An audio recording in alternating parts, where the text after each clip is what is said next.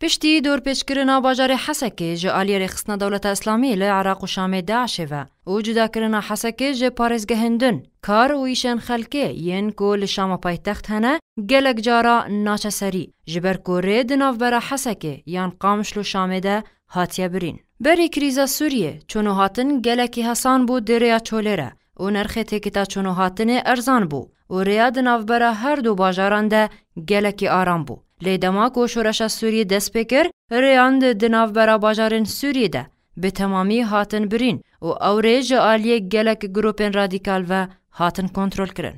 Gelek bûyerên revandina xwendekarên Kurd li ser wan rêya rû dan û ev yek bû cihê metirsiyê li bal welatiyên Kurd û xwendekar neçar man ku di rêya ezmanî re biçin her du bajarên Şam û Laziqiyê da ku xwendina xwe li wan bajara berdewam bikin. Ne tenê xwendekar zehmetiya vê yekê dikişînin, lê kesên ku karê wan li Şama paytext jî hebe neçar dibin ku bi balafiran birêkevin.